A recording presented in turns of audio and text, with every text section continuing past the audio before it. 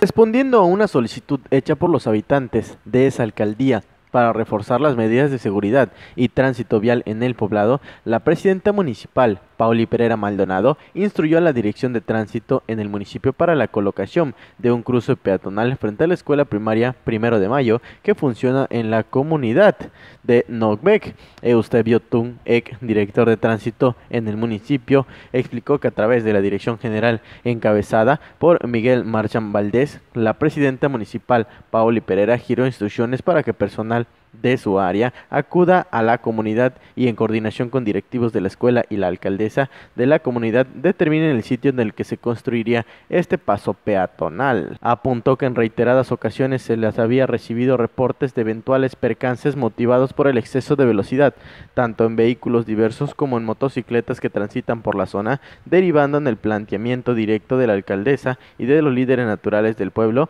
a la presidenta municipal para que de inmediato se tomen cartas sobre el asunto antes que se reporte algún incidente. Se trata de una medida preventiva y en ese sentido se trabaja con la gente del pueblo, aseguró el director de tránsito. Eusebio Tun Ek, director de tránsito en Carrillo Puerto, informó que el paso peatonal, aunque ya se encuentra determinado en la etapa física y la señalética urbana, ya se colocó totalmente concluido en esta semana, que es el tiempo que se proporcionó a los materiales para que se instruya para moldarse en el terreno en el que se asienta y estructurarse internamente como paso de vehículos. Para Canal 10 informó